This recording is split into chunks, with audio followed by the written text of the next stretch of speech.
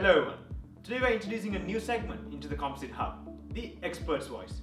First to feature in this series is Professor Paul Weaver, who is a world-renowned expert in composite materials from the University of Bristol. Hello, I'm Paul Weaver. I'm a professor in lightweight structures and also director of the Centre for Doctoral Training in Advanced Composites. I love composites. I've been working in the field for 30 years since I was an undergraduate student. But I was actually interested in it way before then. As a sixth former, my physics teacher introduced me to a book called Why Don't You Fall Through the Floor, or alternatively, The New Science of Strong Materials by a guy called Gordon. It's a Penguin classic these days. And since then, I was absolutely enraptured by the fact that you could uh, bring in elements of uh, mathematics, physics and chemistry, all in one discipline. And I didn't know any other discipline at the time that could do that. So it satisfied my desire for chemistry, it satisfied my desire for knowing about stiffness materials, also my, uh, my love of mathematics. And really, I've been in the field ever since. So, I've been doing this for nigh on 30 years, haven't I? So, uh, what, what, what's come out of it?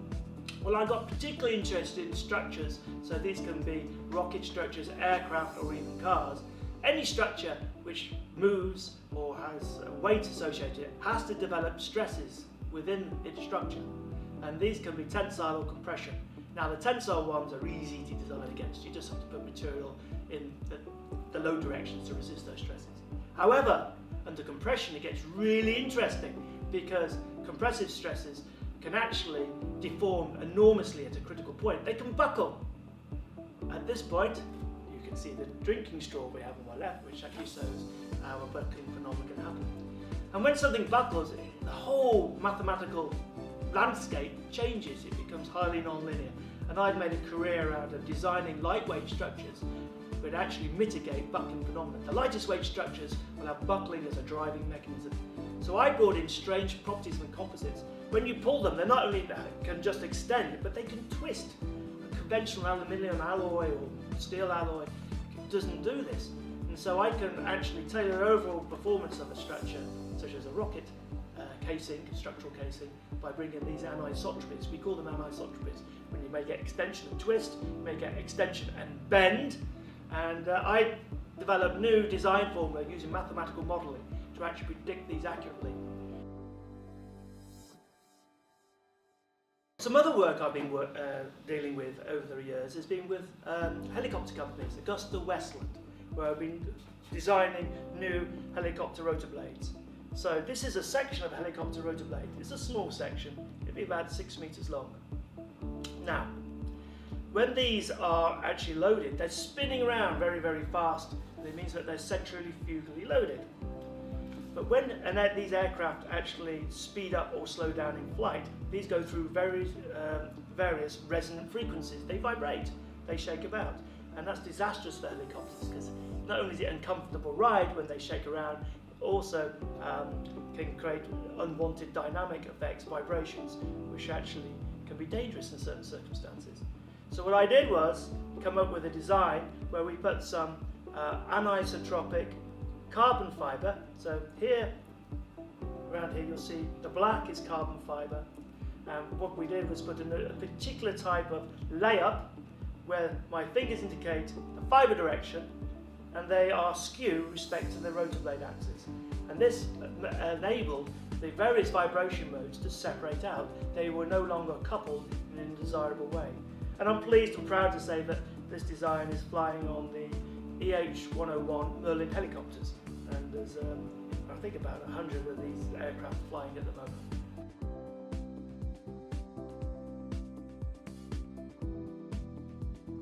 Morphing structures, I hear you ask. What is that?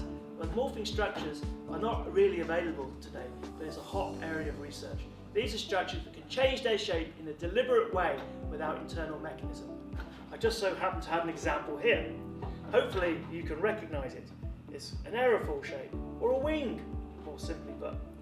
Now, when you're flying and you'll see this wing out your window if you're on your 737 or your A320, these are aircraft from uh, Boeing and Airbus respectively. You would not like to see them change their shape. However, there are real advantages for doing it. And so this is something that we can actually do. If I showed this to an airline executive, oh, they would have a hissing fit, I think, at first. But the advantage for doing it is you can actually get very long wings with the current airport space. And long wings are much more aerodynamically efficient and therefore more sustainable and they use less fuel. So look out for time in the near future, five to ten years, where we may be having folded wings, not in flight, but taxiing on the runway, where they would extend and then get these uh, added aerodynamic efficiencies I mentioned to you during flight. So another example of a morphing structure. Well, um, you can see that you get these air ducts on engine cowlings, you get them on high-end sports cars, such as this um, uh, Ferrari. And what are they there for? Well, they're there for to bring air in to get added aerodynamic control or for cooling of the engine. However, when you're not, we, not sorry, when they're not needed, they provide added drag and inefficiencies. So wouldn't it be great if these ducts could open and close? So what do I mean by this? Here I have a carbon fibre structure which shows what I mean by a duct. Watch your ears now because it's going to be a loud noise. This is the shape of duct. It may seem familiar if you've looked at racing cars or the high-end sports cars. So air would come in here. It would be channeled for aerodynamic efficiency for engine cooling. But wouldn't it be great if it could close when they're not needed? And if we can do this in a controlled way, you've got some a wonderful enabling mechanism. I like to think these as analogous to fish gills that can open and close. Obviously it's not for breathing, but again it's for a type of flow control.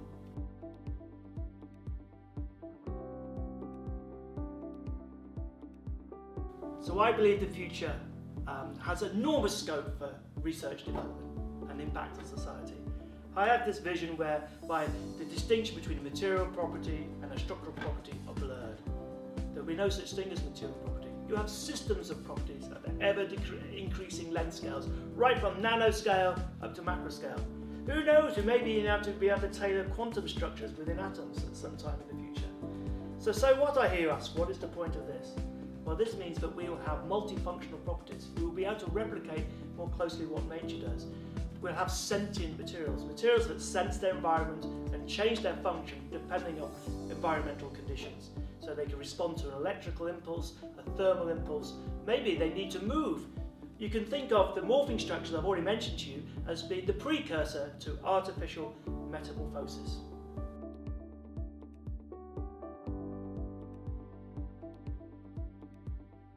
So I've been in a fortunate position for the last 30 years to work on the things that I love, mainly funded by taxpayers and other individuals and companies.